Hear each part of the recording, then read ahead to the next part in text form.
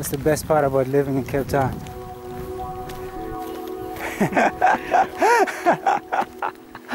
right?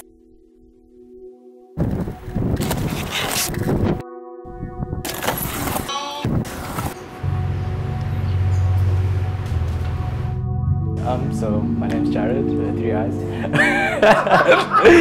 uh, yeah, um, I grew up in Bridgetown, Athlone, which is a rural suburb uh, in Cape Town. Um, growing up, there wasn't like a lot of positive influences or role models to look up to.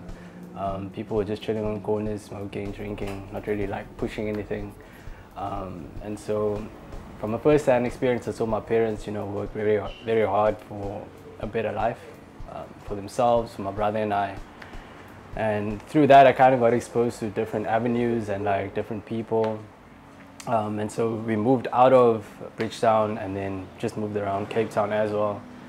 Um, and then through those experiences, like I kind of got into contact with successful artists. Um, but where I grew up, it wasn't really a thing.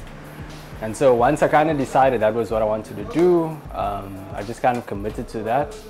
Um, and then over the years, I started, you know, building that brand and image, um, and also allowing other artists to do the same thing back in Bridgetown and other um, underprivileged areas that I also experienced. Um, so yeah, through that, um, decided, and I became um, the person that I wanted to be, which was an artist, a creative director, and also an activist. because I feel like the message that I had it was deeper than just you know pretty art or you know painting something for the heck of painting it. But i wanted to create work that has substance that has meaning um, that would outlive you know certain trends and, and things. Um, so i always say like i create timeless pieces you know pieces that you can look at 50 years 100 years 200 years from now and it will still hold the same gravity and weight. I never try to dilute my message. Like my message has always been strong and it still holds like a lot of weight. So there's been spaces where I couldn't exhibit just because of that. So for me it was trying to find the spaces that would allow me to share that message and then fortunately through that like I've kind of built my client base around it. So instead of like trying to fit into a category of something that someone else has already done, like I've created my own.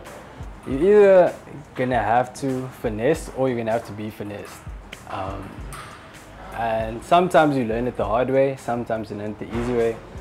Uh, so with galleries, they usually take a commission. Um, so they take anywhere from 25% to 90%.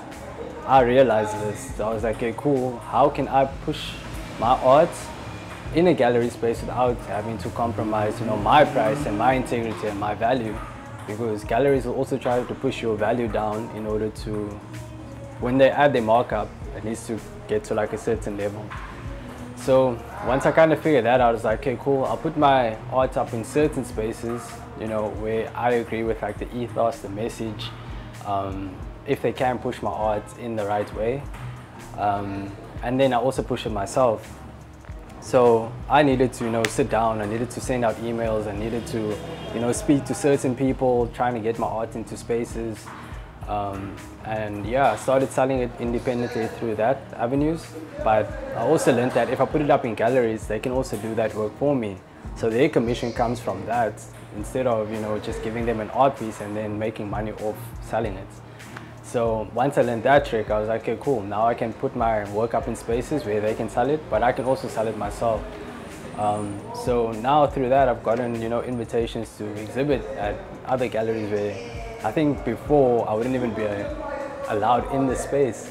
And through just like I think that consistency and you know creating that name and brand and identity, people kind of gravitated towards that.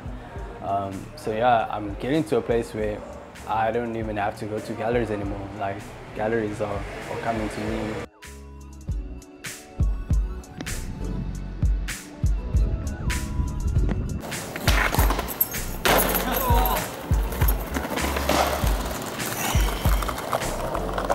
So for me as a skater, I kind of felt um, the love of joining a community and through that community you kind of stay away from all the pollutants and so I just want to share that again as a way to, you know, use skating as an outlet, but also use art as, as an outlet. Um, and so, yeah, we just get skateboards, we let the kids skate, we let them paint. We show them also how to paint, um, get food supplies, get school supplies, um, and then we also get presents, like depending on which time of the year it is.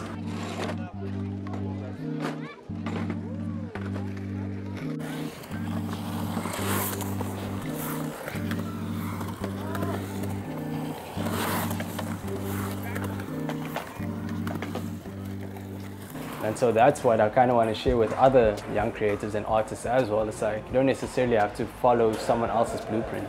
You can create your own blueprints. Like, um, and now I'm even trying to steer away from conventional canvases.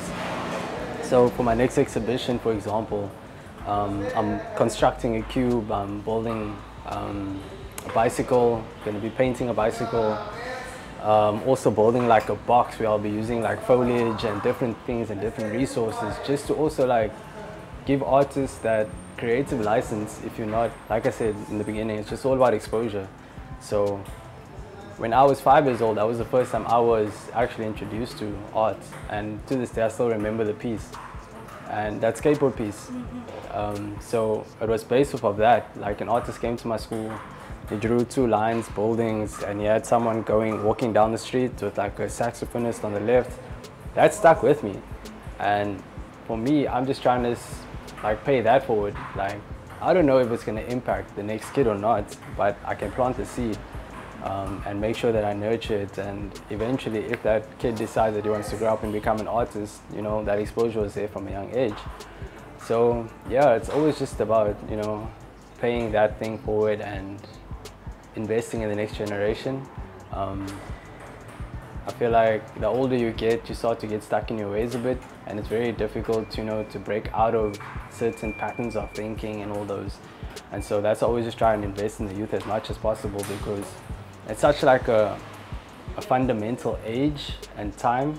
Um, and I think with the way that society is going, you need to kind of bring them back to, you know, their inherent nature and instill in them that confidence as a young African.